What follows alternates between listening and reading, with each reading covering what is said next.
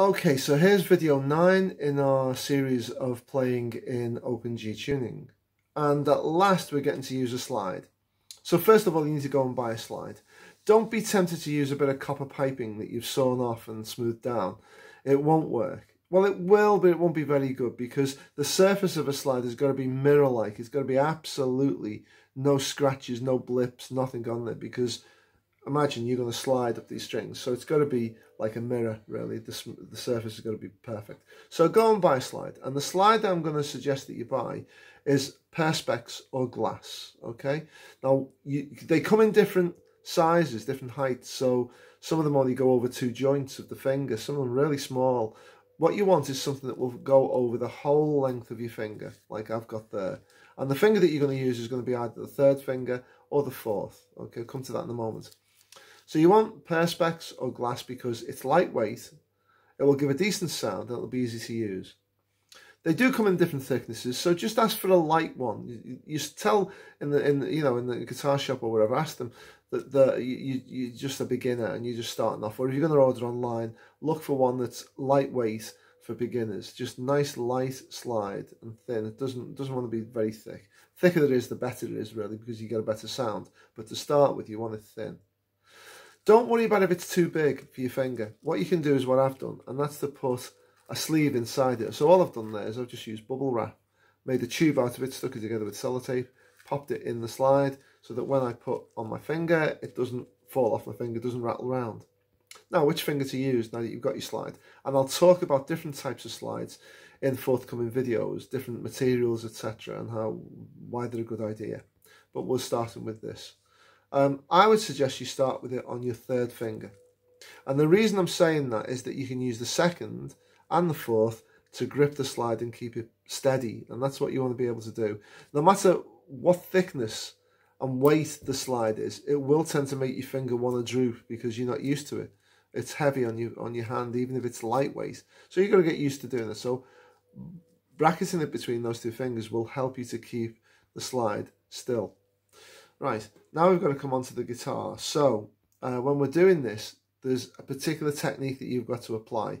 So, firstly, let's look at the thumb on the back of the neck. The thumb on the back of the neck wants to go uh, in the back area of the neck there, okay? So if I turn the guitar around, it's upside down now, but in this back area, there's the middle of the neck there, and there's the top of the neck. So it's in this area. So if I put my thumb on, you can see where my thumb is now, uh, it's on the back of the neck and it needs to run up and down. In fact, what I always say to students is imagine that in that area of the neck, there's a groove and on your thumb, there's a ball bearing and you can push the ball bearing into the groove. You would be able to slide up and down like that. That's what we want to be able to do. Secondly, the thumb doesn't want to be at that angle. A lot of people stretch their thumb out. Well, that's a mistake because look what's going to happen. If I stretch my thumb out, the angle of my hand is at the wrong angle. You have got to keep your hand like that.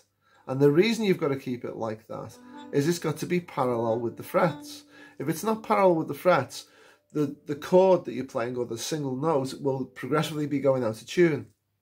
If I put the, the slide at that angle, then obviously there, it's going to be in tune. But when I get down to the top string, hear how much out of tune it is to what it should be. So you can't hold it at an angle. You've got to hold it absolutely parallel with the frets. Okay. So your thumb on the back of the neck will help you to do that and you can slide up and down. So when I do that, look, when I bring this round, look how my hand is parallel. I'll do it the other way. Look, if I put my thumb out like that, across the length of the neck, look how much of an angle it's at. Okay, so you need to get that right. Okay, having got the, the slide on and having got your angle right with it, let's just go from the fifth fret to the seventh. And what I'm going to do to minimize the top strings going out of tune is I'm not going to play them. I'm only going to play across those. And I'll do all four of those, six, five, four, and three, like that. Now, ideally what you want is you want that note those notes to start with and those notes to finish in tune. Okay, what we don't want is this. which is so easy to do. And the reason for it is that the slide is at a wrong angle, okay? So once you can do it between frets 5 and 7, try some other frets, try 7 to 9. And notice what I'm doing. I'm playing it at the given fret, pausing a slight second, and then taking it up to there. So it's not moved quickly, it's just there, and then up, or there, and then up, with a tiny little pause, okay? That's what we want to try and do.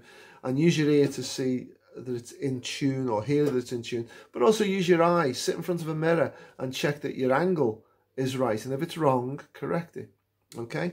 You'll find it hardest to do in the lower frets because the action is lowest here and the action is highest up here. So obviously, if I go from uh, 7 to 9, that's maybe easier to do. Lastly, you do not press the slide down on the strings. You're not making contact with the fretboard, with the strings, otherwise it ruins it.